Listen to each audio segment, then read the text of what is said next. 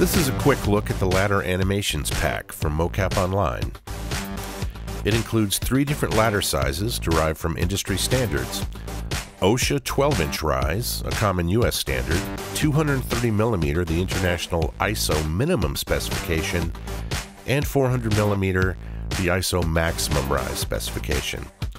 These three offer a wide range of sizes to accommodate many buildings and projects, and each ladder size has its own complete and identical set of animations, all three having the same full range of actions.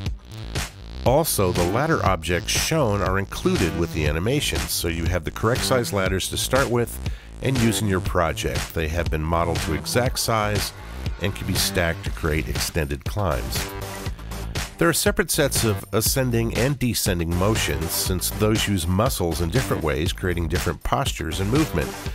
And all of these animations are mirrored to be left foot up and right foot up, so any combination within the cycles or mounting dismounting is possible no matter what rung you are on or hand foot position.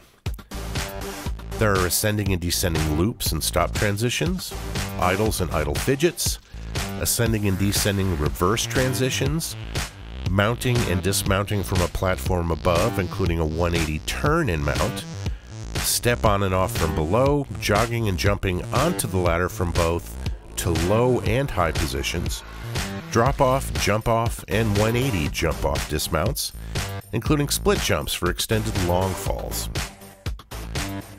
As a bonus, we are including a handful of animations from our mobility pack showing the connection and interoperability with our other animations, and get your character moving around a bit if you don't already have a set.